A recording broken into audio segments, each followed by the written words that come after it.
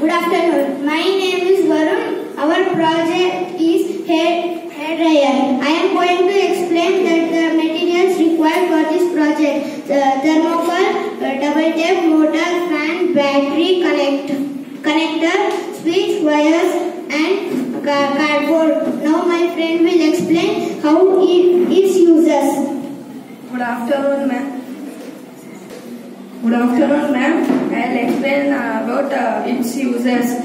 In, in winter season, when our things uh, might, might uh, wet, it will it will help us to dry the things. Uh, and if you buy these uh, things uh, in market, it will take more price and you can make this at home and it is easy to carry around. Now my friend will say about this, how we made it. Good morning, everyone. To uh, how it will be, uh, how it made show.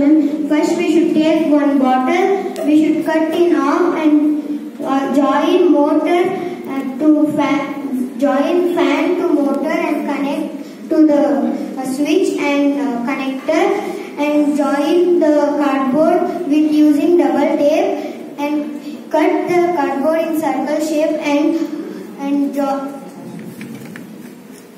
in the join the battery to connector and on the switch it will work and we can see solar and laser light.